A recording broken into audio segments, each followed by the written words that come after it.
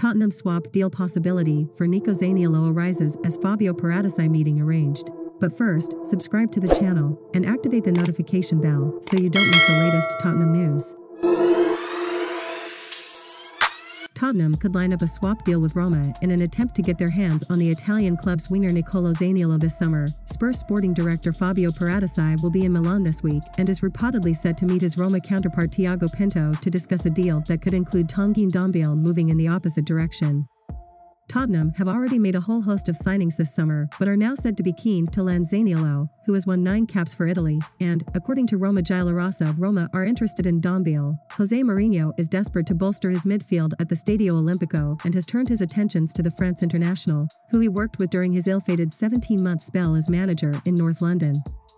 Roma want to sign Ndombele on an initial loan deal with an obligation to land him permanently, despite the fact the player's valuation is said to scare them, but Paratici could be keen to change the dynamics of the transfer when he meets with Pinto. Zaniolo has been attracting attention from Juventus and Manchester United, and Roma have already told the old lady they would need to fork out £42.5 million to sign the ace, so Spurs could face a transfer battle in their efforts to get a deal over the line.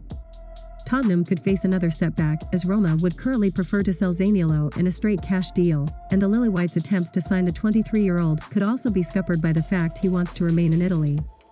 Zaniolo, who can also play an essential role, joined Roma from Inter in the summer of 2018 and has gone on to bag 22 goals and 15 assists in 111 games for his current employers. Last season, he scored 5 goals in the Europa Conference League and netted the only goal of the game in the final as Roma defeated Feyenoord to lift the trophy.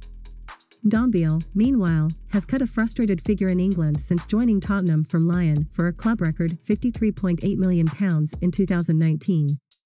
The 25-year-old has struggled to hold down a regular starting place under any of his Spurs managers and was shipped back off to Lyon on loan during the second half of the last campaign.